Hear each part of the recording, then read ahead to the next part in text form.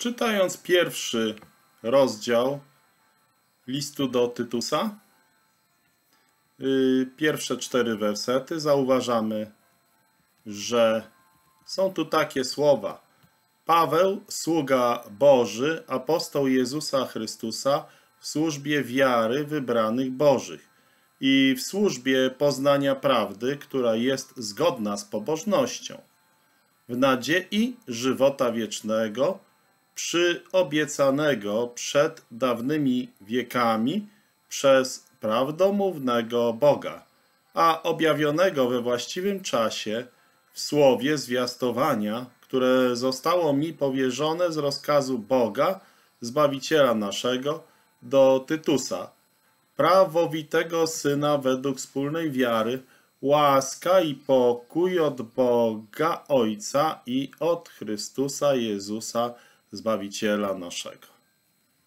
Więc tutaj służbie wiary to określenie, y, to jest, y, można powiedzieć, z Biblii Gdańskiej może lepiej by było oddane, gdybyśmy powiedzieli Paweł, sługa Boży i apostoł Jezusa Chrystusa według wiary wybranych Bożych i znajomości prawdy, która jest według pobożności. Z kolei jeśli chodzi o to sformułowanie w tym wersecie, które mamy jako przed dawnymi wiekami, to również idąc za oryginalną Biblią Gdańską, moglibyśmy powiedzieć, że to jest przed czasami wiecznymi, jak to mówi Biblia Gdańska. I to jest ważne, że jest to pierwszy z trzech głównych fragmentów listu wymienionych przed chwilą w poprzednim odcinku. Jak już zdążyliśmy zauważyć, w tych wersetach w zwięzły sposób zostaje streszczona niewyczerpalna głębia wzniosłych prawd chrześcijaństwa. Już na początku dowiadujemy się, że źródłem błogosławieństw jest Bóg. Najpierw zostaje on przedstawiony w swoim absolutnym charakterze jako Bóg, następnie jako prawdomówny Bóg, potem jako Bóg, Zbawiciel, który objawia się zgubionym ludziom, a na końcu jako Bóg Ojciec, Bóg miłości. Jednak to w Chrystusie Jezusie, naszym Zbawicielu, mamy doskonałe objawienie wszystkiego, czym Bóg jest dla nas. Apostoł Paweł jest narzędziem tegoż objawienia. Nazywa siebie sługą Bożym. Ten tytuł pojawia się w listach tylko dwa razy. Tutaj oraz w listach Jakuba.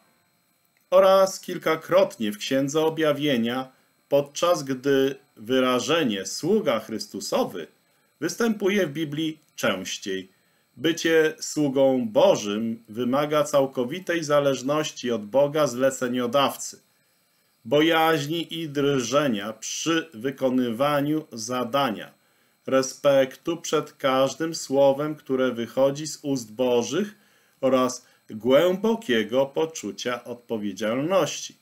Warto zwrócić uwagę, że przez nazwanie siebie sługą ów wielki apostoł narodów zajmuje celowo najniższe i najskromniejsze stanowisko.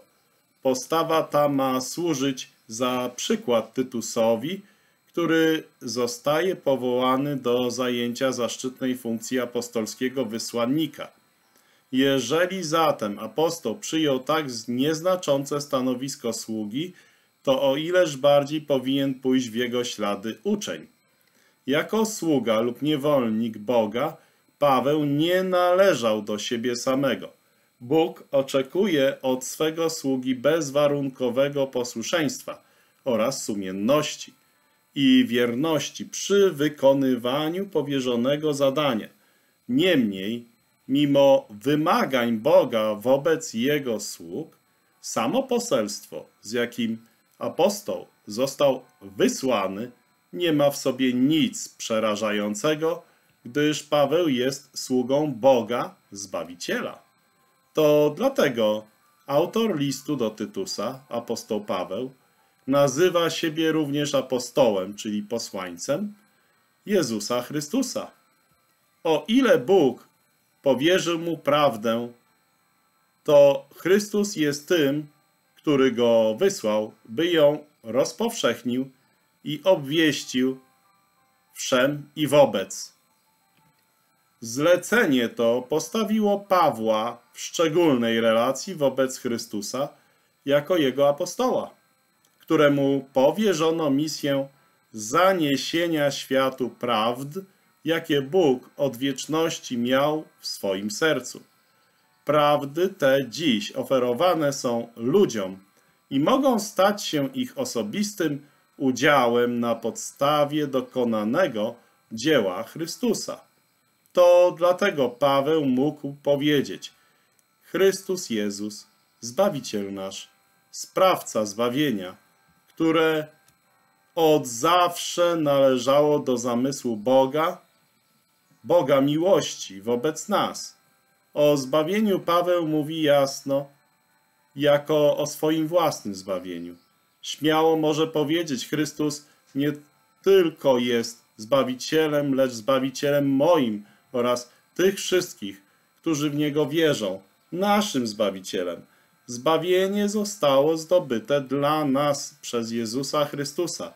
On sam stał się niewolnikiem Bożym, aby nas pozyskać. Można o tym przeczytać m.in. w drugiej Mojżeszowej 21 od drugiego do szóstego wersetu. Naszym sługą stał się On, aby móc je nam udostępnić. To też czytamy Filipian, drugi rozdział, szósty do ósmego wersetu. Zatem przyjrzyjmy się teraz bliżej służbie apostoła Pawła opisanej w tym fragmencie tych czterech wersetów. Jego urząd apostolski nie ma nic wspólnego z zasadami Starego Testamentu. Jest całkowicie niezależny od zakonu. Jest według wiary wybranych Bożych. Nie zwraca się ani do ciała, ani do woli człowieka, lecz do wiary. W przeciwieństwie do zakonu. Wyklucza zasadę ludu wybranego opierającą się na cielesnym pokrewieństwie. Niewątpliwie uprzywilejowane stanowisko Izraela nawiązywało pierwotnie do wiary Abrahama, niemniej opierało się głównie na cielesnej przynależności do ludu, którego protoplastą był Abraham. Protoplastą, czyli takim przodkiem. Jednak ów lud, powołany do posłuszeństwa, utracił przez swoje nieposłuszeństwo prawo do bycia uznawanym za lud Boży. W przeszłości, co prawda, je odzyska, jak będzie to w Nowym Przymierzu. Jak się Nowe Przymierze zacznie 7 lat po pochwyceniu, czyli po siedmioletnim ucisku i po powrocie Pana Jezusa Chrystusa razem z Kościołem na ziemię, po siedmioletnim pobycie Kościoła w niebie, to w tym momencie na ziemi zostanie ustanowione nowe przymierze i wtedy faktycznie w przyszłości Izrael odzyska to uprzywilejowane miejsce. Ale podobnie jak my, wyłącznie na gruncie wybranych, wiary wybranych, wyłącznie na gruncie wiary, wiary, wiary wybranych. Urząd apostolski Pawła zwraca się do osobistej wiary, nie zaś do ludu uprzywilejowanego, ze względu na ziemskie pochodzenie. To się nie liczy. Ziemskie pochodzenie, pokrewieństwo według ciała z, Izraelem. z Izraelem. Ci, którzy otrzymali dar wiary, to wybrani w wieczności przez Boga, aby mogli należeć do Niego, do Boga. Zbawieni przez wiarę, zjednoczeni w duchu miłości i stanowią oni niebiański lud Boży. Te dwa aspekty, wiara i wybranie, cechują chrześcijaństwo. Oba mają swoje źródło wyłącznie w łasce i nie są zależne od zakonu.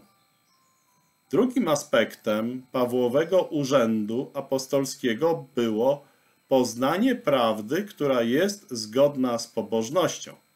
Apostoł Starsu głosił prawdę, całą prawdę. Czym jest prawda? Jest absolutnym objawieniem tego, kim jest Bóg, czyli Jego istoty, tego, co mówi, czyli Jego słowa, i co myśli, czyli Jego ducha. A więc, innymi słowy, jest objawieniem Ojca i Syna i Ducha Świętego. W Chrystusie, w którym mieszka cieleśnie cała pełnia boskości, o czym czytamy w Kolosan, drugi rozdział, dziewiąty werset. Zostało nam objawione, kim jest Bóg.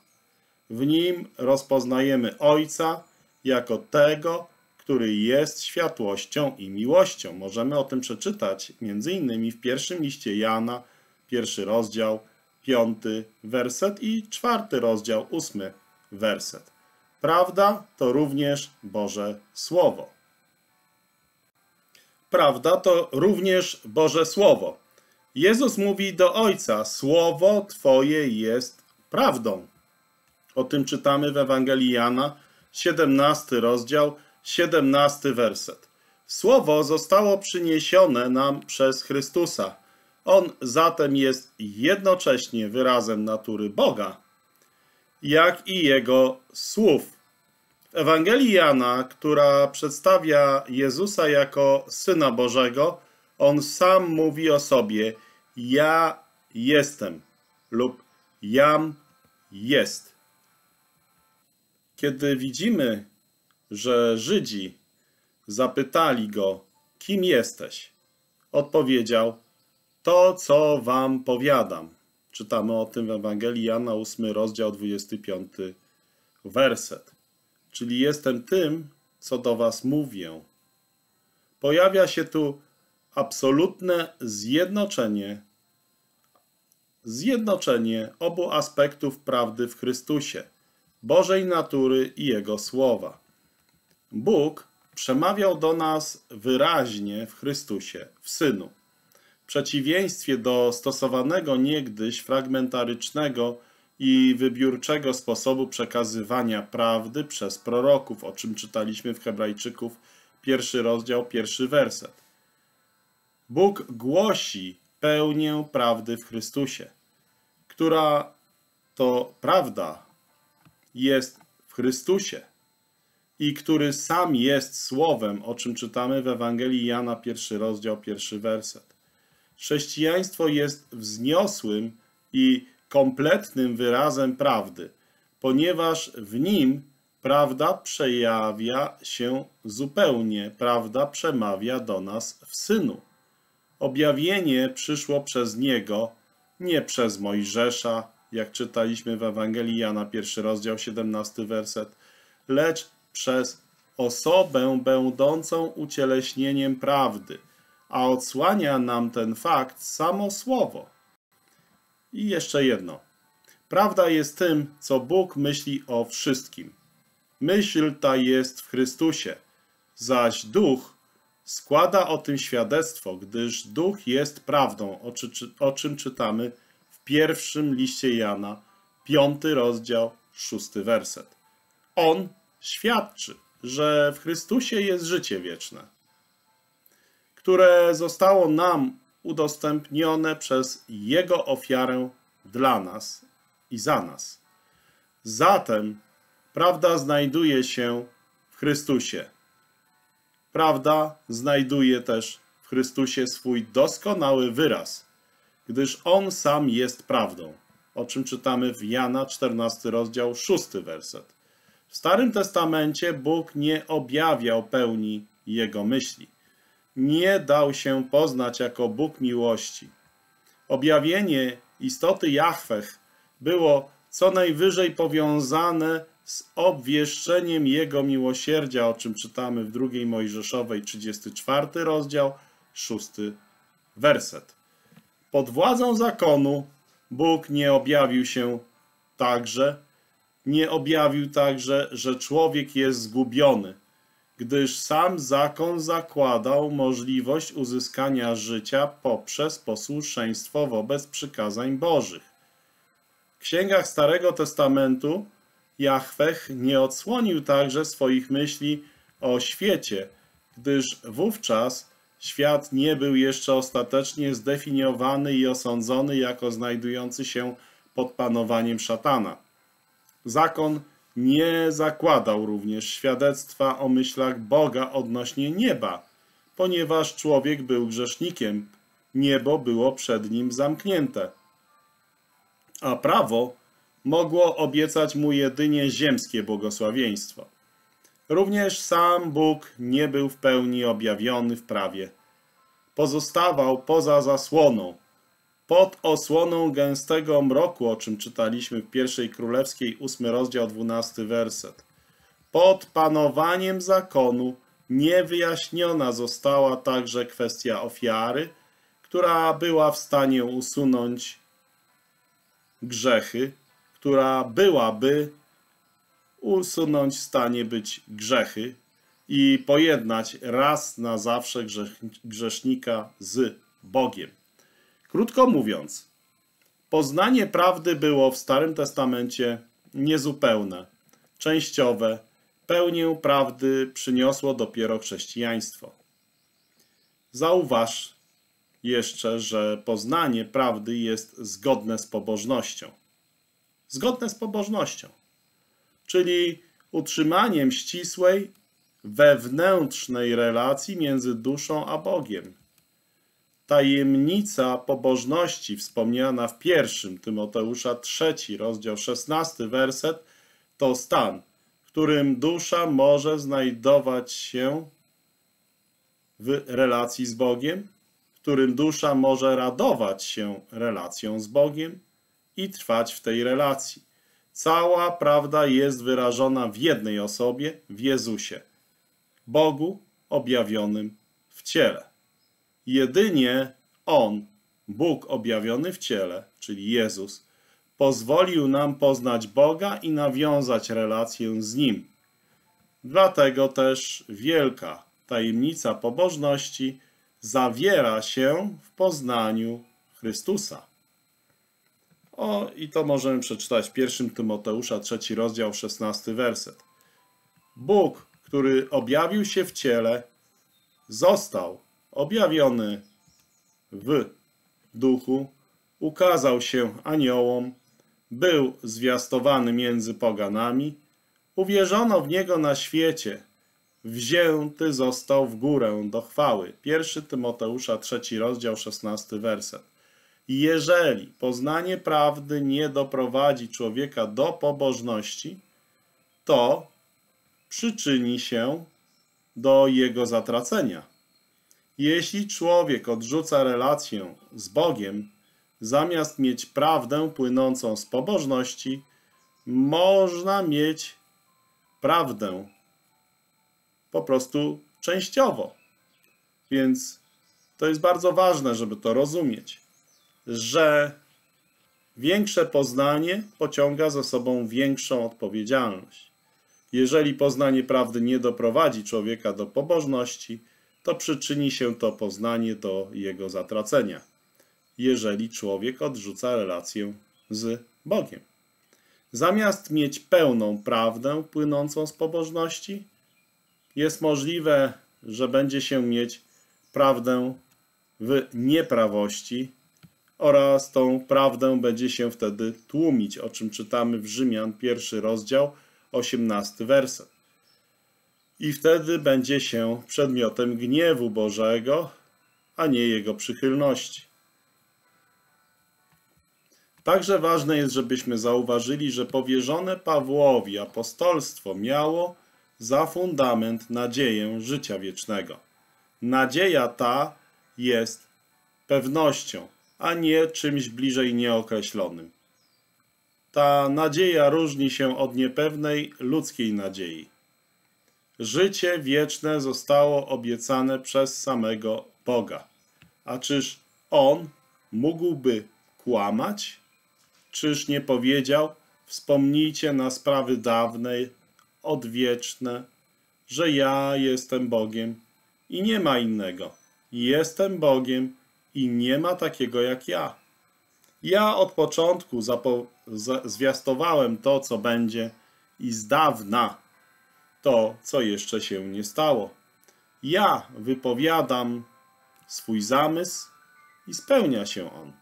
I dokonuję wszystkiego, czego chcę.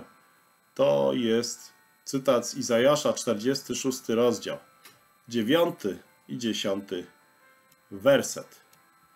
Wybrani Boży już teraz posiadają dar życia wiecznego, bo przecież to wyraźnie jest powiedziane, że wybrani Boży już teraz posiadają dar życia wiecznego przez wiarę w zmartwychwstałego Chrystusa. Czytamy o tym w Ewangelii Jana, 6 rozdział, 54 werset. I pierwszy list Jana, 5 rozdział, 20 werset mówi wyraźnie, On jest tym prawdziwym Bogiem i życiem wiecznym. Kto wierzy w Niego, ma życie wieczne. Nie ludzkie i przemijalne, lecz duchowe życie wieczne, życie z samego Boga. Ten dar daje nam zdolność, by poznać Go, radować się Nim i mieć z Nim społeczność. Ojcem i z Jego Synem Jezusem Chrystusem. To jest właśnie życie wieczne. Nie ulega wątpliwości, że jak długo chrześcijanin przebywa na ziemi, tak długo pełne korzystanie z Bożych błogosławieństw i potencjału życia wiecznego będzie niedoskonałe. Dopiero w chwale będziemy urzeczywistnieniem pełnej wartości Bożego życia. Stanie się to wówczas, gdy zobaczymy twarzą w twarz tego, który jest naszym życiem i staniemy się do Niego podobni. Gdy poznamy tak, jak sami jesteśmy poznani, gdy będziemy doświadczali doskonałej, nieprzerwanej i niczym niezakłóconej społeczności z Chrystusem. Z Chrystusem, który jest przedmiotem naszej nadziei. Taka jest właśnie chrześcijańska nauka. I taka jest prawdziwa istota chrześcijaństwa. Razem z apostołem możemy zawołać o głębokości bogactwa i mądrości i poznania Boga. Rzymian to jest z 11 rozdziału 33 wersetu. Tak, cóż za niezgłębione bogactwo. Jakże niezbadane są wyroki Jego i niewyśledzone drogi Jego. Jakże wzniosłą wartość powierza nam chrześcijaństwo. Jaką pewność, jaką błogość i szczęśliwość, jaki pokój w naszej relacji z Bogiem. Jaką pełnię radości w społeczności z Nim. Jaką przyszłość, czy istnieje poznanie, które można by porównać z tym, jakie przynosi nam Ewangelia? A objawionego we właściwym czasie w Słowie.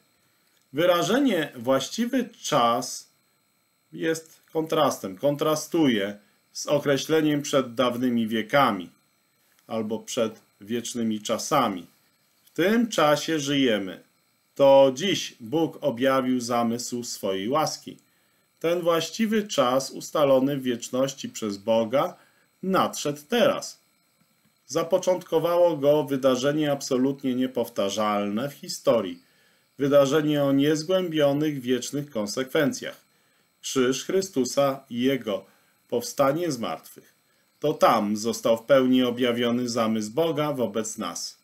Zasłona, która oddzielała nas od Boga, została rozerwana. Droga dostępu do Niego otwarta i oświetlona. Nasza relacja z Nim jako Ojcem ustanowiona na zawsze, na wieki, a dziedzictwo jako nasz dział z Chrystusem zostało przypieczętowane. Wszystko to stało się przez Niego i w Nim. Żadna z tych rzeczy nie była zapowiedziana ani znana kiedykolwiek wcześniej. Słowo Boga, który nie może kłamać, zostało objawione teraz. Odwieczne myśli Stwórcy, które tkwiły dotychczas w skrytości Jego zamysłów, są dziś znane i zwiastowane. Są dziś znane, a zwiastowanie słowa zostało powierzone Pawłowi. I tutaj jednoznacznie widzimy, co warto podkreślić, że ten właściwy czas ustalony w wieczności przez Boga nadszedł teraz. Dlatego możemy powiedzieć, że zapoczątkowało go wydarzenie absolutnie niepowtarzalne w historii. To wydarzenie o wiecznych konsekwencjach, ukrzyżowanie Pana Jezusa Chrystusa oraz Jego powstanie z martwych. To na krzyżu Golgoty został w pełni objawiony zamysł Boga wobec Ciebie i mnie. Zasłona, która oddzielała Ciebie i mnie od Boga, została rozerwana. Droga dostępu do Niego otwarta. I oświetlona jest teraz nasza relacja z Bogiem jako Ojcem i jest to relacja ustanowiona na zawsze, na wieki. A dziedzictwo jako nasz dział z Chrystusem jest przypieczętowane. Wszystko to stało się przez Niego oraz w Nim. I jeżeli teraz mamy to, jakież olbrzymie znaczenie posiadał zatem urząd apostolski. Dzisiaj słowo prawdy jest już dopełnione, o czym czytamy w Kolosan pierwszy rozdział 25 werset. Zwiastowanie było rozkazem Boga Zbawiciela i wszyscy wiemy, że apostoł wypełnił powierzone mu zadanie. Niemniej jednak Boży nakaz w niczym nie przypominał zakonu. Tym razem to nie Jahwech, Bóg z Synaju, lecz Bóg Zbawiciel objawił się w Słowie we właściwym czasie, powierzając jego zwiastowanie apostołowi. Paweł kieruje swój list do Tytusa, o czym czytaliśmy w czwartym wersecie pierwszego rozdziału tego listu, który był duchowym synem apostoła. Został zrodzony na gruncie prawdy i wiary. Wiara ta była wspólnym działem Pawła i Tytusa. Tytusa i Pawła. Żyda i poganina. To właśnie Paweł przekazał swojemu uczniowi prawdę, to dzięki jego służbie Tytus uwierzył. Bóg Ojciec i Chrystus Jezus, nasz Zbawiciel, Boża miłość i Boża łaska jednoczą się, aby przekazać Tytusowi radosną nowinę o przychylności i pokoju jako błogosławieństwach ofiarowanych przez Zbawiciela. Tyle pierwszy rozdział, wersety od 1 do 4.